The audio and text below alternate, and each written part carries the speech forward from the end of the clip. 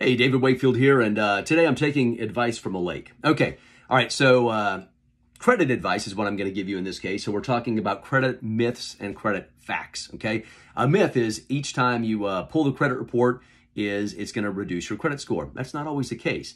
There are soft pulls, there are hard pulls. Now, most mortgage lenders are going to be pulling a hard pull because they want to make sure everything is fully, uh, fully legit, I suppose, and fully solid on that. Uh, so, but if you have a credit report pulled uh, and then you go and say, well, hey, I'm going to go uh, check with somebody else, and if they pull the credit report again as well, that's going to count as one pull. You got a window of time. Uh, there's some uh, there's some um, uh, arguments maybe on how long that is going to last. I typically tell people about two weeks is about what you have on that. I've heard people say 30 days. Two weeks is kind of the safe number in my mind. Uh, and then uh, and then if it's repolled, as long as no new information has been updated, the lender should get the same score. So that's myth number one.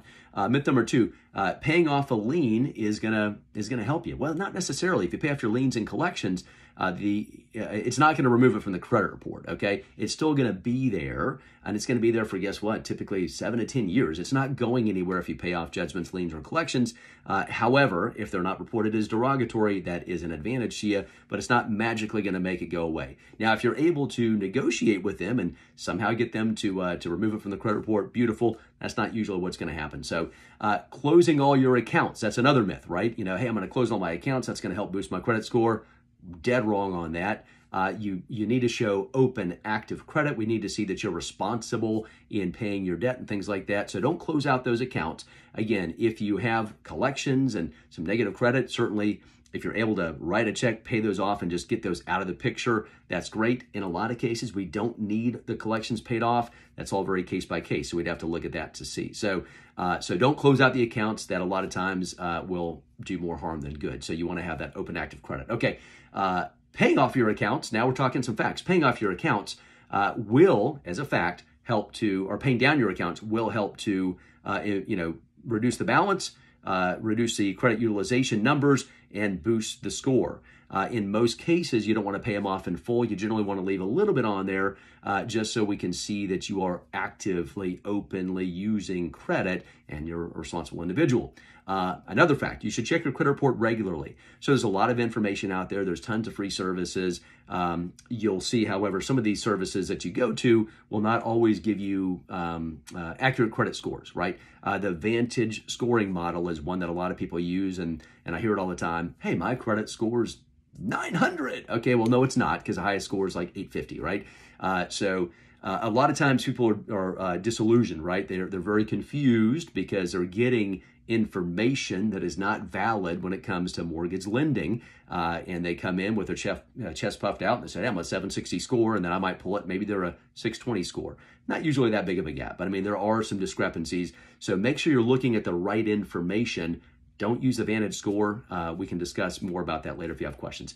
Um, the three major credit repositories, right? There are three of them Equifax, TransUnion, and Experian. Everybody doesn't report to all three. So you're going to get uh, different information and different scores, you know, from each of these uh, credit repositories. That's why we have the three scores. We're going to evaluate each of those to make sure you're going to meet the minimum credit standards. So it's not always the exact same information out there that you're going to see. They're usually going to be pretty close, but sometimes we get some pretty good discrepancies there. Um, another fact, uh, freezing your credit report uh, is something you can do. Well, that's not a bad idea. Freeze the credit report if you want to. Don't let anybody get in there and and uh, you know um, uh, you know uh, create any activity fraudulently. Uh, but when you go to get a loan, make sure you unfreeze that. It's free. Okay, so unfreeze it before you apply for a mortgage because guess what? if I pull the credit report, then I, you know, look at it and maybe you've got, you know, one frozen or two frozen or maybe all three frozen uh, we, we need to get better information. They're going to want that, you know, thought out basically, so unfreeze it. Okay, so for the credit report, okay, here's a free service, annualcreditreport.com. So that'd be a great place for you to go, annualcreditreport.com, to pull your credit report to see everything that's on there. It's free. It's not one of these catchy, catchy jingle services that are trying to sell you some kind of credit monitoring, you know, so it's a, it's a good way for you to check that one time a year, free credit report, annual credit report. Another little tip, and maybe I'll go into this deeper next time uh, opt out pre screen. It'd be a good idea before you even apply for anything to go to opt OPT, and I'll put it in the in the comments below. Uh, optoutprescreen.com. Go there, fill your information in. That's gonna uh, that's gonna shut down a ton of those marketing calls. Uh, as soon as you pull a mortgage credit report, guess what? It, it's like the uh, the hounds are out. Equifax, I think, is who it is, sells your information. Not me, but Equifax, I believe, sells the information uh, to all these people. It's called a trigger lead. Again, we should you know go into that uh, maybe a deep dive later as well. But a trigger lead, and you'll get flooded with phone calls with people calling saying, "Hey, I heard you're buying a house," and so on and so forth. You need a mortgage.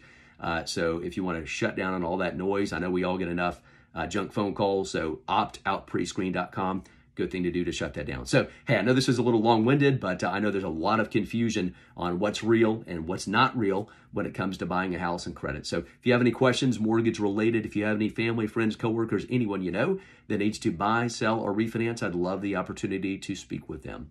All right, thank you so much. All right, there'll be more coming up. Bye.